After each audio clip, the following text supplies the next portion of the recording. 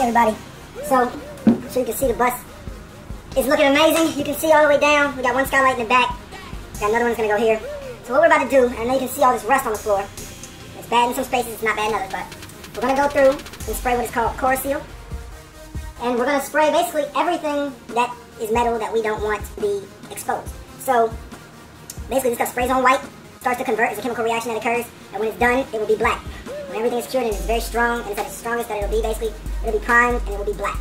So Taryn and I are about to go to the back, I'm gonna fill these bottles up, and then we're spraying. So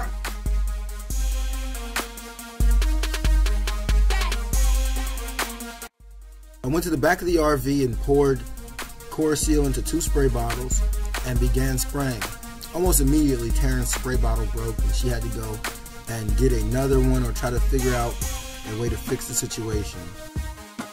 He came back on by the time I was refilling and we kept spraying. So you can see us in the video pretty much spraying everything that's metal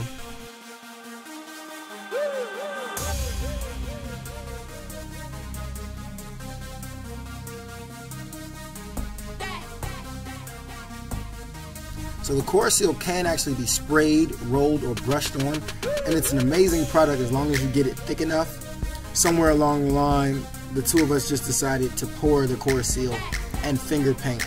We took it straight back to kindergarten, but it actually worked really well. We were allowed to get a nice thick coat, um, you know, around wherever we were applying. So it was pretty nice. We saw we missed a spot, so Taryn had to go Spider Woman for a moment show off that core strength.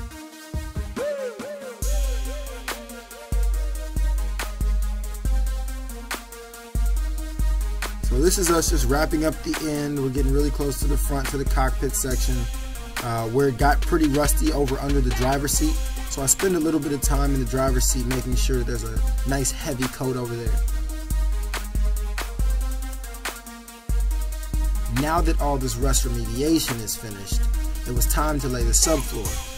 Before we could put the vapor barrier down, we needed to patch all of the holes that were left from the old seats.